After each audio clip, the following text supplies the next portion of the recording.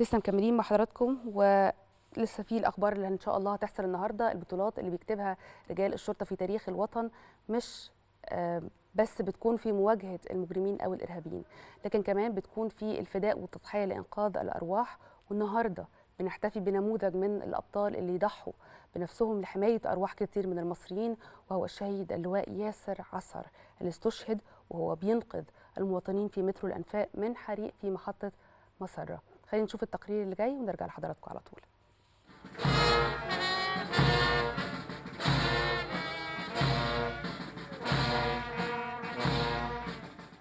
ملفوفا بعلم مصر ودع المئات من أهالي قرية مشتهر التابعة لمركز طوخ بمحافظة القليوبية جثمان شهيد الواجب اللواء ياسر عصر وكيل الإدارة العامة لشرطة النقل والمواصلات.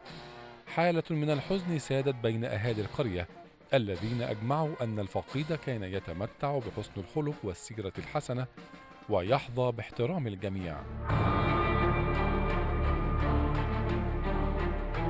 اللواء ياسر عصر خريج دفعة 1989 بكلية الشرطة والذي كتب له أن يكون شهيدا يدافع عن حياة المدنيين دون تردد.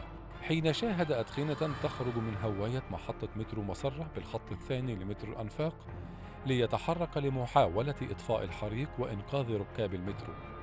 وظل ياسر عصر يحاول وبرفقته رجال الإطفاء بالمترو حتى تمكن من السيطرة على الحريق ولكنه فقد توازنه وسقط في قلب هواية المترو واستشهد في الحال.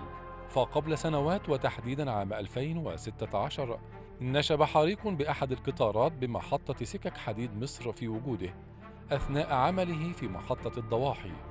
وبزيه الرسمي انطلق ضابط الشرطة بدون تفكير إلى قلب الحريق وتمكن من إطفائه وإنقاذ المحطة من حريق كاد يلتهمها.